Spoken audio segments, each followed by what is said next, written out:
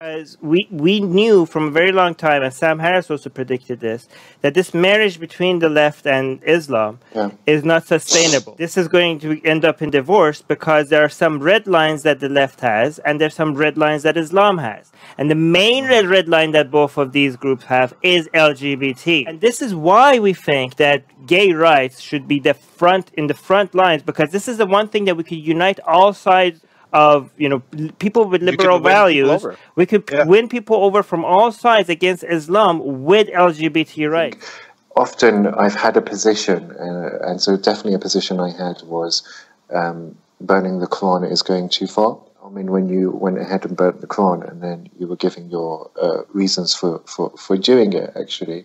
Uh, and I just thought, if you're a gay person who wants to burn the Quran, because actually you see that this, this document and this book is really oppressive towards you, it makes absolute sense to do so. I thought that that was a step too far.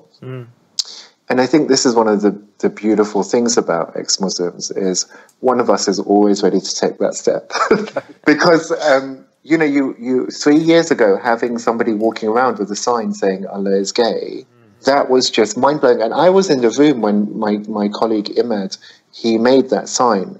And as he was making that sign, my blood froze.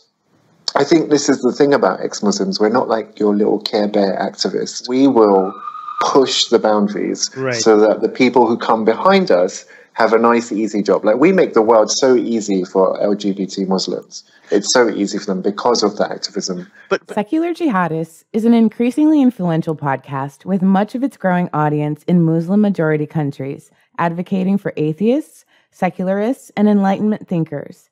We want to reach out to more people.